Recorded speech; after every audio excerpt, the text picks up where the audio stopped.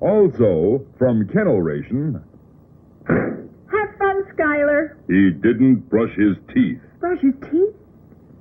Skyler's a dog. He needs Ken-L Treats for dogs who can't brush after eating. Bone hard biscuits that never crumble act like a toothbrush, help clean away film and food particles.